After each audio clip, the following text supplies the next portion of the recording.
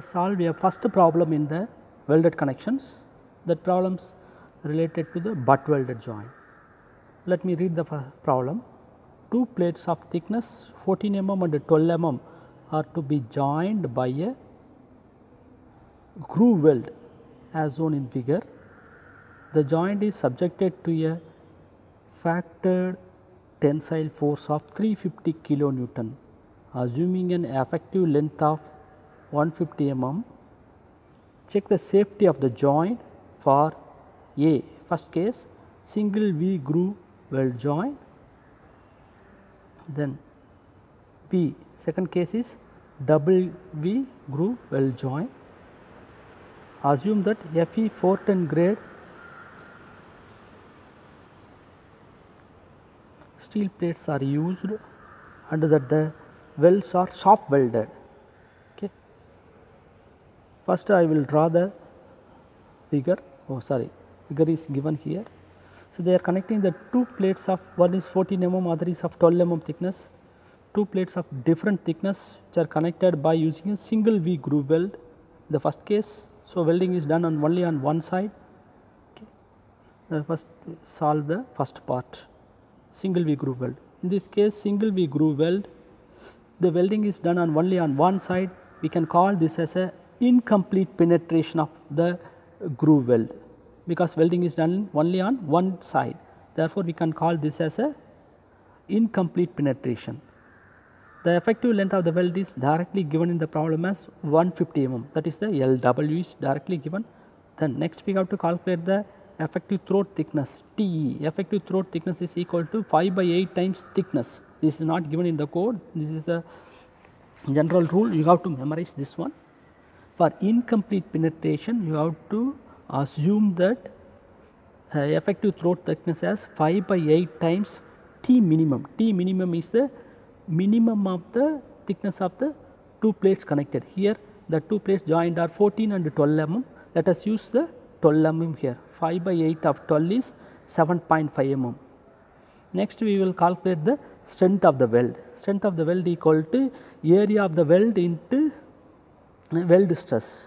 So, the here area of the weld is length into throat thickness. Length is directly given as 150 mm, throat thickness is worked out as 7.5 mm, then yield strength. Which yield strength has to be used? Actually, we have to use the least of the yield strength of the weld metal and the parent metal has to be used here. Here the strength of the weld metal that is the electrode strength is not given therefore, we will use the strength of the parent metal. So, Indian made steel is all the steels having a ultimate tensile strength of 410 yield strength of 250 that is why they in the problem itself they have given as a Fe 410 grade steel Fe 410 grade steel plates. So, yield strength is 250 then gamma MW is the partial safety factor for the weld this value will be varied according to the fabrication place. If the fabrication is done at the shop means the value has to be used as 1.25. If it is done at the field means the value has to be used as 1.5. This value can be obtained from table 5 page number 30 in IS 800 2007.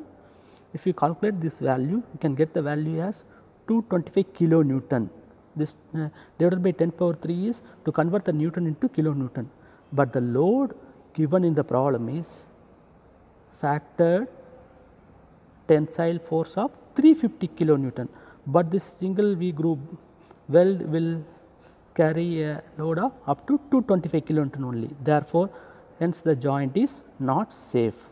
The first part is over. Let us solve the second part of this problem. Second part of the problem is the welding is done on both the side. That is why they have called them as a double V groove weld. Groove weld is also known as a butt weld. In this case, welding is done on both the sides. What will happen? See the figure. It will cover full thickness of the member. Therefore, effective throat thickness is equal to thickness of the thinner plate.